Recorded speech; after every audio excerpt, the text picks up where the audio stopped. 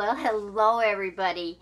And today we are doing the drawing for the little flower presses that I made. And I showed you how I put them together. Joe had cut the wood for me and drilled the holes. And it's just such a fun, easy project for people to do. And I made three of them. One of them I said I would give to my members. So let's see which of my members is a winner. My members, these are the ones that actually commented on the video. Steph, Lynn, D, Melanie, Mary's Ranch and Home Cooking, His Way Homestead, and Cheyenne Life.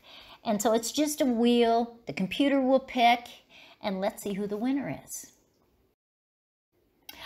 Well, His Way Homestead is our winner of the members flower press.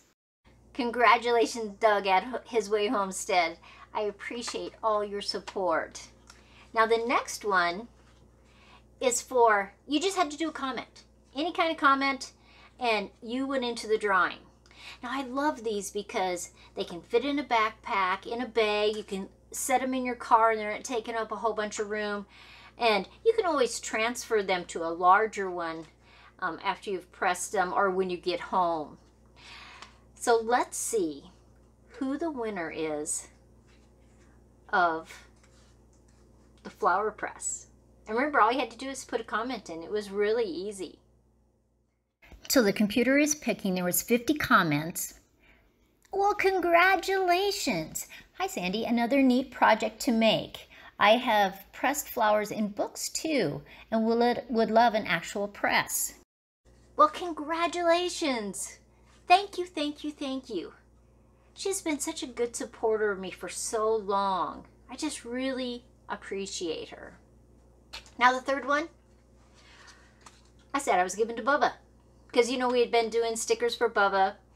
And I actually am boxing up his box today.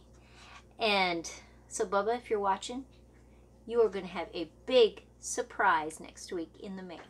Everyone, thank you so much. I love doing projects. And you know, if you've watched my videos for very long, I love giving things away. And I know I know I was going to have this video up last night, but I have a new grand great grandson.